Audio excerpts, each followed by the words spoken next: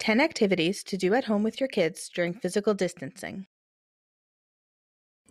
Right now, we're all spending a lot of time at home. It can be tough to entertain your kids. Here are 10 activities that don't require electronics to keep your kids engaged.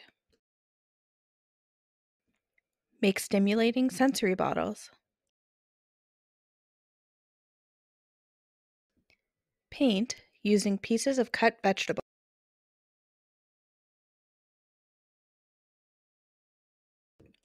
Make sensory bins. Make mystery scent bottles. Make homemade scented Play Doh. Freeze toys in ice and use tools to get them out. Play a mirror or imitation game together.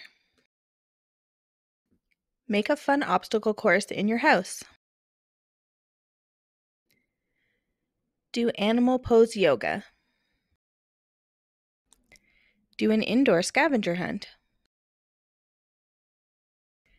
Eventually, we'll all be back to normal, so try and enjoy this time while you can.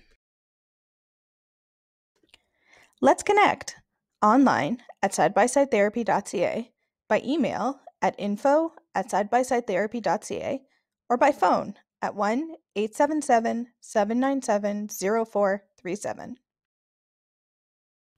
Side by Side Therapy, empowering parents to empower their children.